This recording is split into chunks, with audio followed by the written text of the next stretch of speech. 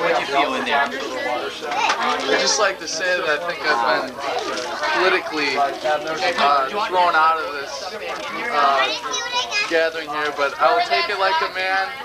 And thank you for the great years I've had participating in this wonderful show. Thank you. Burn it!